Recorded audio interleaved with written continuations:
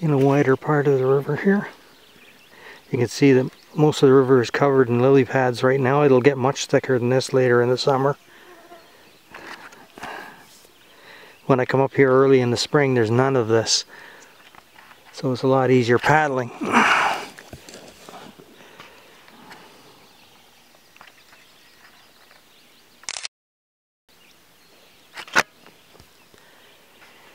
Don't see any moose around.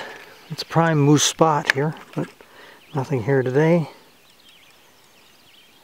Still heading up that way. I could run into obstacles yet. We'll see. Beautiful day.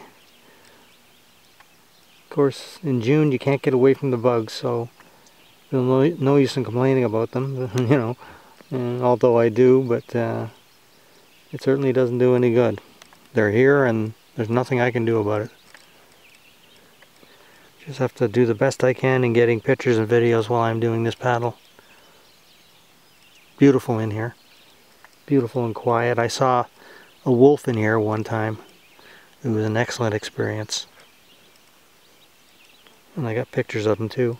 You can find them on my blog. Um, the name of that uh, post was Lunch at Quimby.